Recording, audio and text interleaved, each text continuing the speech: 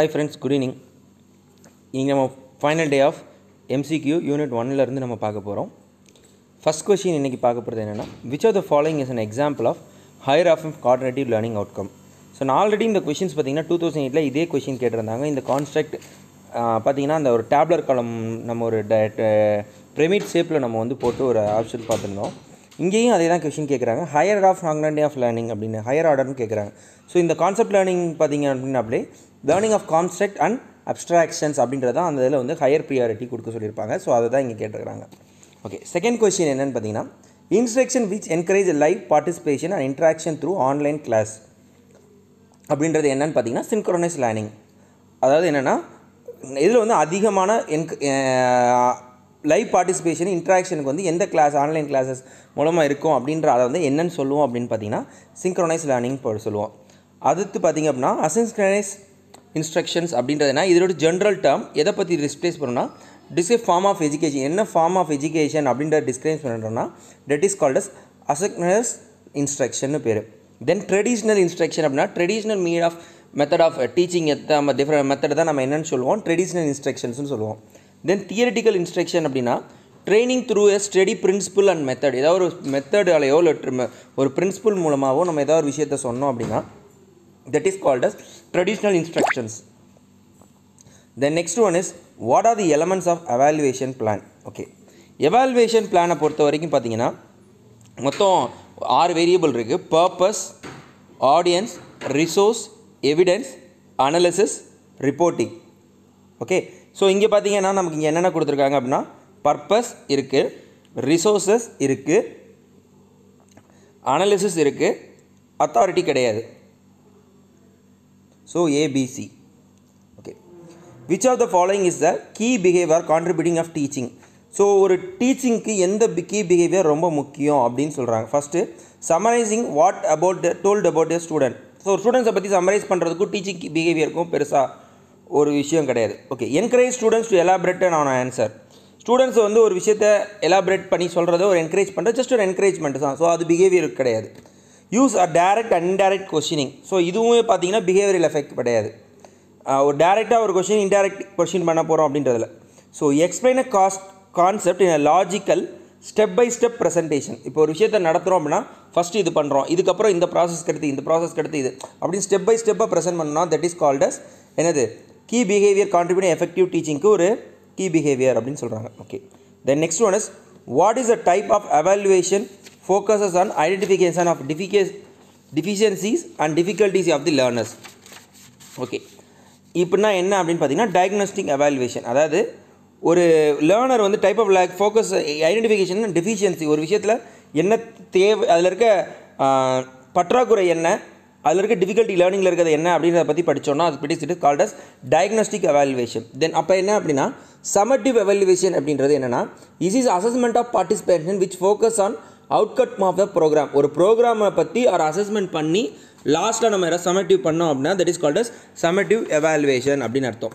The next one is follow up follow up அப்படின்றது என்னென்னா it is in essential step in the curve process அதாவது இதுதான் என்னது?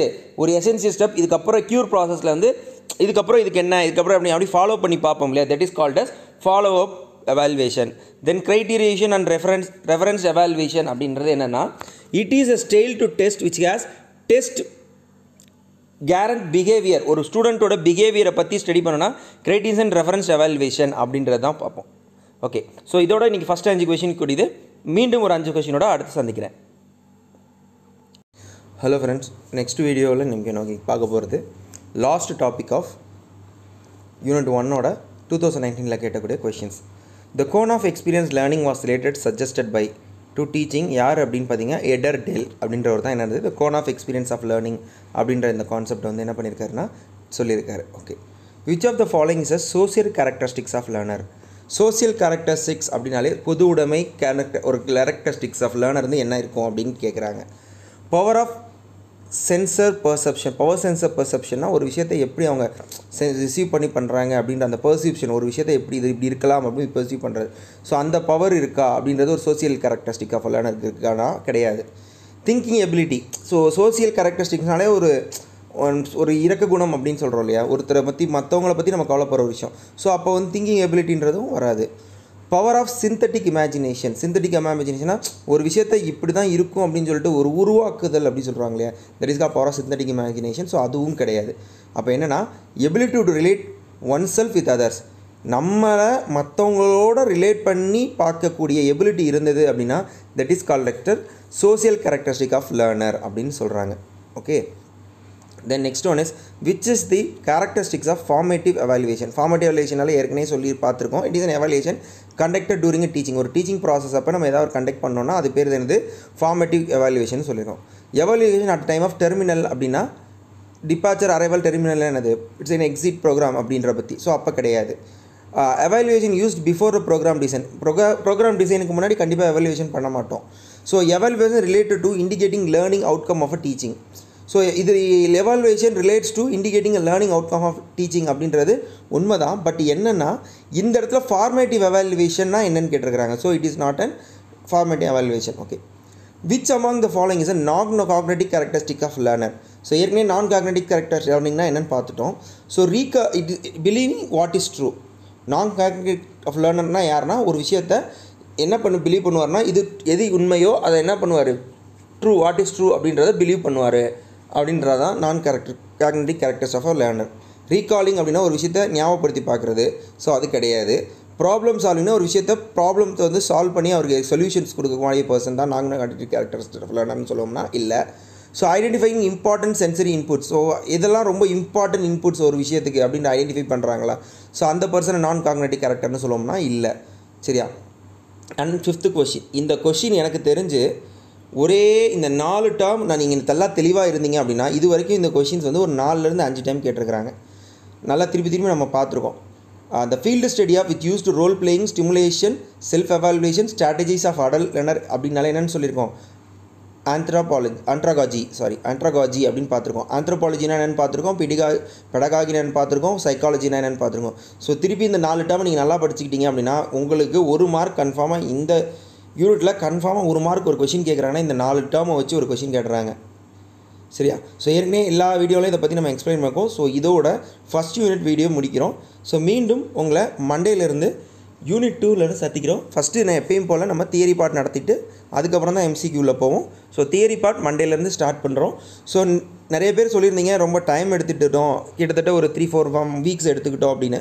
But பரவாயில்ல. But one we one one யூனிட்டில் unit ஒனில் வந்து நம்ம இப்போ ஸ்ட்ராங்காக இருக்கும் அப்படின்னு நம்புகிறேன் ஈவன் தெர் ஆர் சஜஷன்ஸ் எனக்கு நிறைய கிடைச்சது என்னென்னா ஒரு டெஸ்ட் மாதிரி கண்டக்ட் பண்ணுங்கள் சார் அப்படின்னு. But time because of other commitments I couldn't do in at much now கண்டிப்பாக பின்னாடி பண்ணலாம். எல்லா யூனிட்ஸும் முடிச்சுட்டு நமக்கு டைம் இருந்ததுன்னா கண்டிப்பாக நம்ம ஒரு டூ டு த்ரீ மாடல் கொஷின்ஸை வச்சு நம்ம பண்ணலாம். எக்ஸாம் அதே பண்ணலாம் அப்படின்னு ஒரு ஐடியா இருக்குது ஸோ அது அப்புறம் பின்னாடி பார்ப்போம்.